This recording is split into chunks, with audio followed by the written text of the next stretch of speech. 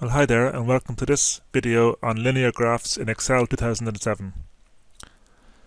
So here I have some data, x data and y data, and I want to plot a graph with this data.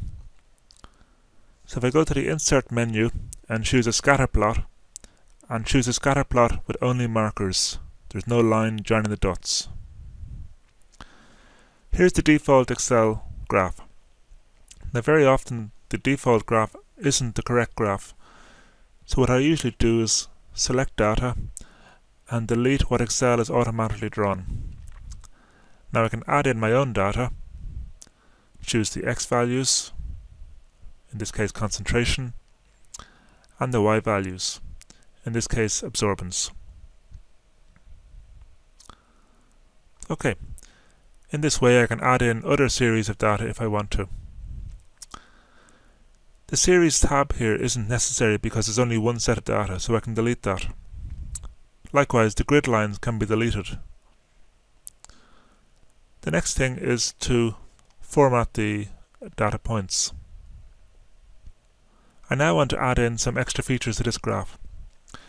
If I look here when the chart is highlighted, the chart tool menus become uh, available, design, layout and format.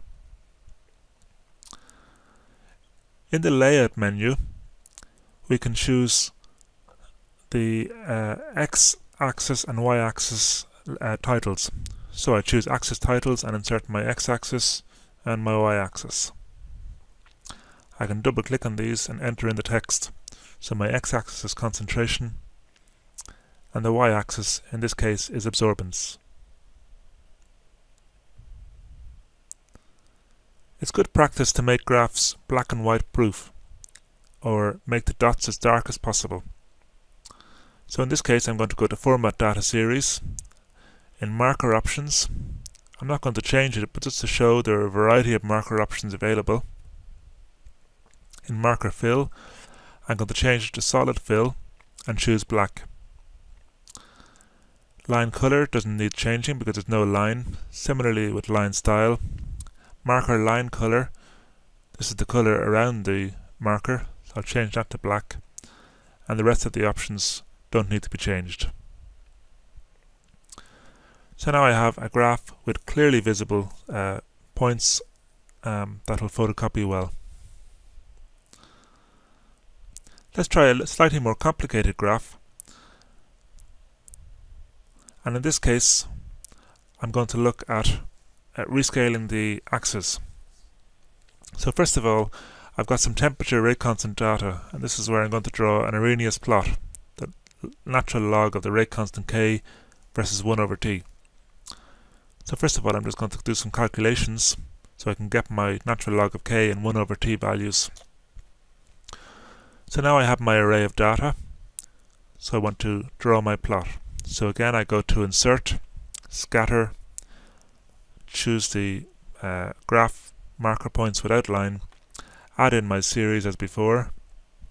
So 1 over t is my x-axis, ln k is my y-axis.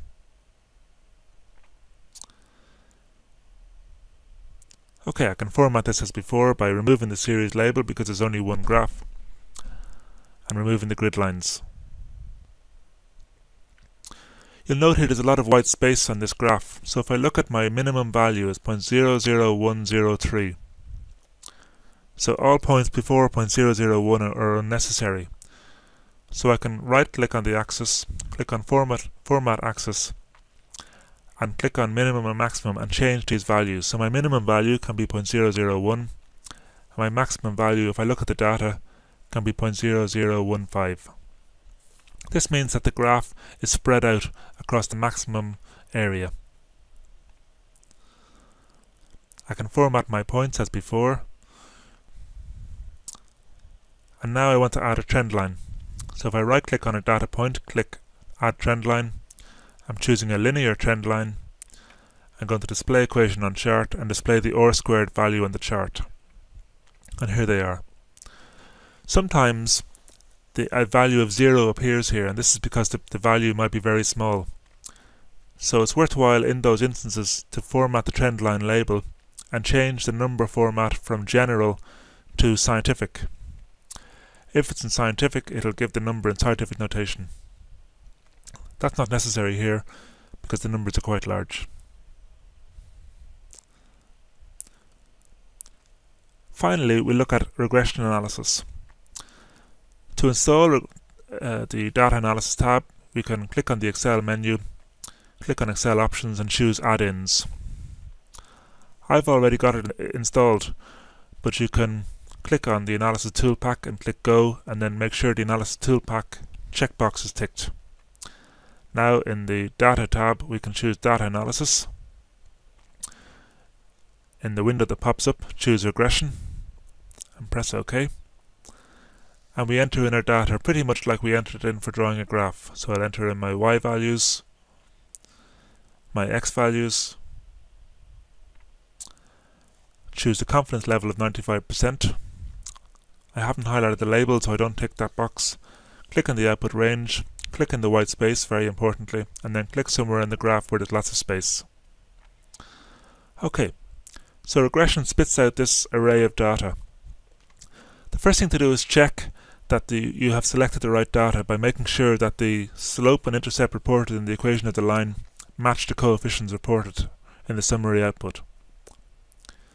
We can then calculate our error in the slope and error in the intercept by subtracting in each case the coefficient value from the lower or upper 95% value, or vice versa. It doesn't matter, we'll get the plus or minus value in each case. So to get the error in the slope, I'll say equals to the slope value minus, for example, the lower 95% value. If I had chosen the upper 95%, I'd get the same number. I can repeat that for error in intercept. It's my error in my coefficient for the intercept minus the lower 95% value.